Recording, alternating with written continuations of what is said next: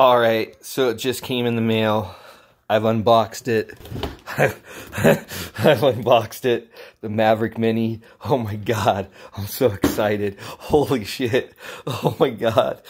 Oh my god. I've been flying this other drone and um yeah, I'm pretty uh I'm pretty stoked on what how they sent it.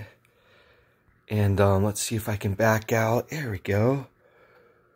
Man, I'm pretty stoked. Like, look at that guy.